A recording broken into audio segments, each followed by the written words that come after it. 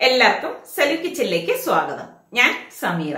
ഇന്ന് ഞാൻ തയ്യാറാക്കാൻ പോകുന്നത് വളരെ വളരെ പെട്ടെന്ന് തന്നെ തയ്യാറാക്കിയെടുക്കാൻ പറ്റുന്ന എന്റെ ഓൺ റെസിപ്പിയാണ്. ഇത് വലിയൊരു സംഭവമൊന്നുമല്ല കേട്ടോ. ഇതിന് ഞാൻ ഇട്ടിരിക്കുന്ന പേര് ഇതിന്റെ ലാസ്റ്റ് പറയുന്നുണ്ട്. ഇതുണ്ടാക്കുന്ന രീതിക്ക് ഒരു പ്രത്യേകതയുണ്ട്. അപ്പൊ അത് നിങ്ങൾക്ക് മനസ്സിലായിട്ടുണ്ടെങ്കിൽ ഒന്ന് കമന്റ് ചെയ്യണം കേട്ടോ. അതിന്റെ ഉത്തരം ഞാൻ അടുത്ത എപ്പിസോഡിൽ നിങ്ങൾക്ക് പറഞ്ഞുതരാം. അപ്പൊ നമുക്ക് ഇതെങ്ങനെയാണ് തയ്യാറാക്കുന്നതെന്ന് നോക്കാം. ഇതുണ്ടാക്കാനായിട്ട് ഞാനൊരു പാൻ വെച്ചിട്ട് ഇതിലേക്ക് മൂന്ന് ടേബിൾ സ്പൂൺ വെളിച്ചെണ്ണ ഒഴിച്ചു കൊടുക്കുകയാണ് ഞാനിവിടെ ഒരു കപ്പ് ബോൺലെസ് ചിക്കൻ എടുത്തിട്ടുണ്ട്. വളരെ ചെറുതായിട്ട് കട്ട് ചെയ്തിട്ടാണ് ഞാനിവിടെ എടുത്തിരിക്കുന്നത്.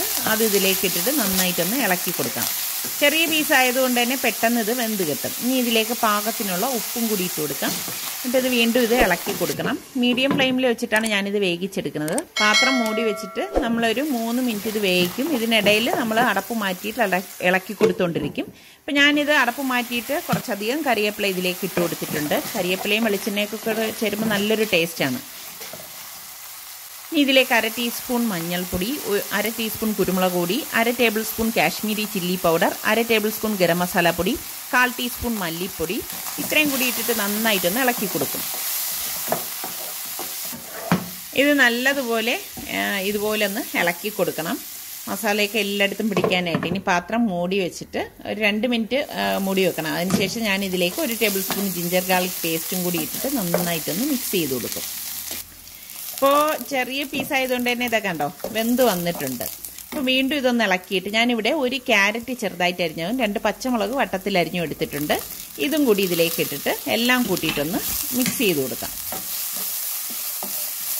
ക്യാരറ്റ് ആയതുകൊണ്ട് തന്നെ പെട്ടെന്ന് വെന്ത് കിട്ടും. ഇതൊന്ന് സൈഡിലേക്ക് ഒതുക്കി വെച്ചിട്ട് ഞാൻ ഇതിന്റെ സെന്ററിലേക്ക് രണ്ട് മുട്ട പൊട്ടിച്ചൊഴിക്കുകയാണ്. ഇനി ഇതിലേക്ക് പാകത്തിനുള്ള ഉപ്പും അര ടേബിൾ സ്പൂൺ കാശ്മീരി ചില്ലി പൗഡറും കൂടി ഇട്ടിട്ട് പാത്രം മൂടി വെച്ച് ഒരു രണ്ട് മിനിറ്റ് വേവിച്ചെടുക്കും. രണ്ട് മിനിറ്റ് കഴിഞ്ഞ് ഇതിന്റെ അടപ്പൊന്ന് മാറ്റിയിട്ട് ഇതൊന്ന് ഇളക്കി കൊടുക്കും. തീരെ സ്ക്രാമ്പിളാക്കി എടുക്കണ്ട കേട്ടോ. അതെ ഇതുപോലെ പീസായി കിടക്കണം. ഇനി ഞാനിവിടെ രണ്ട് സവാള ഇതുപോലെ ചെറുതായിട്ട് കട്ട് ചെയ്തെടുത്ത് വെച്ചിട്ടുണ്ട്. ഈ സവാള ഇതിലേക്ക് ഇട്ടിട്ട് എല്ലാം കൂട്ടിയിട്ടൊന്ന് ഇളക്കി കൊടുക്കാം.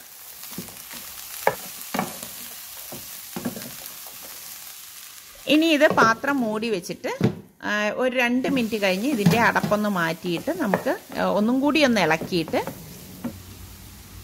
അര ടേബിൾ സ്പൂൺ മുളക് പൊടിയും അര ടീസ്പൂൺ മഞ്ഞൾപ്പൊടിയും അര ടീസ്പൂൺ കുരുമുളക് പൊടിയും അര ടീസ്പൂൺ ഗരം മസാല പൊടിയും ഇട്ടിട്ട് എല്ലാം കൂട്ടിയിട്ട് നന്നായിട്ടൊന്ന് ഇളക്കി കൊടുക്കും. ഇത് ഞാനിപ്പോൾ ഹൈ ഫ്ലെയിമിൽ വെച്ചിട്ടാണ് ഇളക്കിയെടുക്കുന്നത്. ഇനി പാത്രം മൂടി വെച്ചിട്ട് ഒരു മൂന്ന് മിനിറ്റും കൂടി ഇത് വേവിച്ചെടുക്കാം.